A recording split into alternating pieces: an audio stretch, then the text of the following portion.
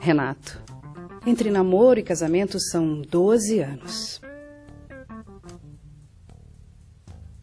Mas já há muito tempo deixei de gostar do meu marido. Sei que ele me ama, mas já não aguento mais essa situação. Já conversei com ele do modo mais sincero possível, mas mesmo assim ele não aceita a separação. Já lhe expliquei que ambos estamos sofrendo muito. Eu, por não amá-lo, e ele, por causa da minha indiferença. Temos dois filhos maravilhosos que amam o pai. Já falamos também a respeito deles, até por saber que eles estão sofrendo. Mas não vejo outra saída, Renato. Não há mais amor. Mesmo assim, ele não aceita nem falar em separação. Não sei o que eu faço.